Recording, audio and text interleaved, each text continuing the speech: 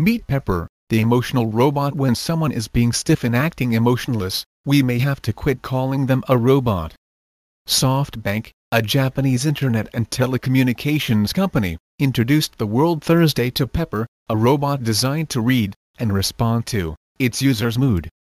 People may look back 100 years later, or 200 years later and say that was a historic moment we are having today, said Masayoshi Son, SoftBank CEO, in a translated video on SoftBank's website.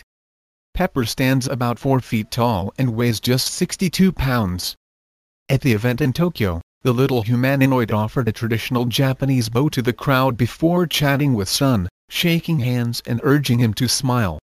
Pepper gets feedback from its user via facial recognition technology and a bank of cameras, audio recorders and sensors in its head. SoftBank says that instead of being programmed, Pepper learns how to behave over time. Feedback is uploaded to cloud storage, where it can be used by other units, to modify the way they behave.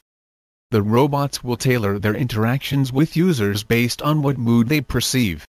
He tries to make you happy, Kanae Hayashi, SoftBank's project manager, told CNN.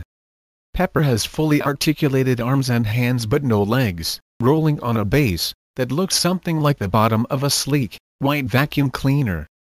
There's a tablet-like display mounted on the robot's chest for communicating. It's programmed to speak 17 languages.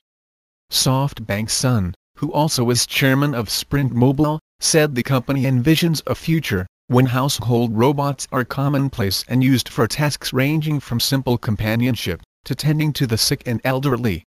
Pepper was built in a collaboration between SoftBank and Aldebaran Robotics, makers of other humanoid robots like Neo and Romeo.